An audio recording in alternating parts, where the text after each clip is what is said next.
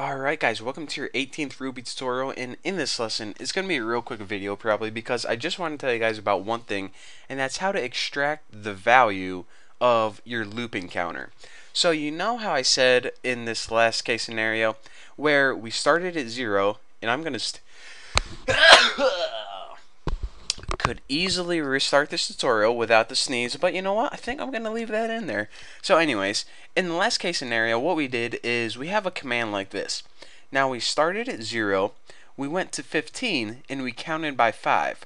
So pretty much our values that the computer saw were 0, 5, 10, and 15. And once we got to 15, it knew to stop. But what if we wanted to see the value each time instead of just just little command right here? Well, let's go ahead and learn how to do that.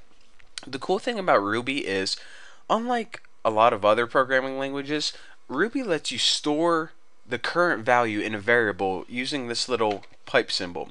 Now again, this is the little thing above the enter key on your keyboard. It's the straight line that goes up and down. So let's go ahead and make a simple counting loop. So we will go 1 up to 10 or something like that the values really don't matter. Now, what I want is to see what number the loop is on every time. 1, 2, 3, 4, 5, 6, 7, 8, 9, 10. However, if we just give it a basic command, then it's going to do the same command every time. So what we want to do first is we want to extract the variable, and I'm just going to put it in a variable called x.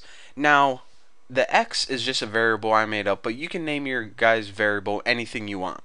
So now what we did is we are going to extract the value every time this loop is going to happen. So now that we have the value, well, let's just go ahead and print it out on the screen. So puts x. So now when I go ahead and hit enter, check it out. It says 1, 2, 3, 4, 5, 6, 7, 8, 9, 10. So what it did is it looped from 1 to 10. Every time it looped, we stored that value in a variable called x. Now, again, like I said, I just named that variable x, but you can name it anything you want. The key here is whenever you want to extract a variable, make sure you put it in between those pipe signs. Whenever you do that, you're telling Ruby, hey, we want to get the value and store it in this variable right here. And then with that variable, you can do anything you want. You can add it to other variables. You can just print it out on the screen like you did.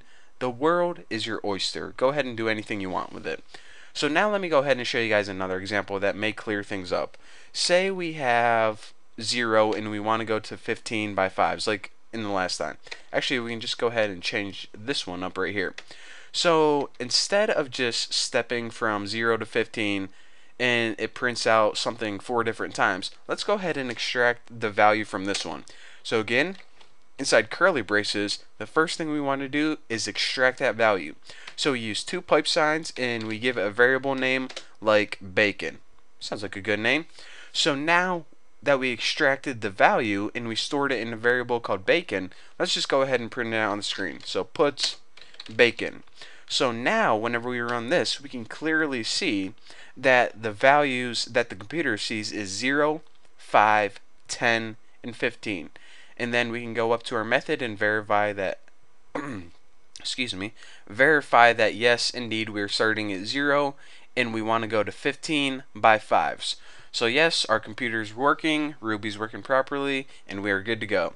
So again that is how you extract the value of a variable whenever you are looping so hopefully you guys understand now. If you don't, just go ahead and uh, ask me on my forum, tnbforum.com. But for now, thank you guys for watching. Don't forget to subscribe, and I'll see you guys in the next video.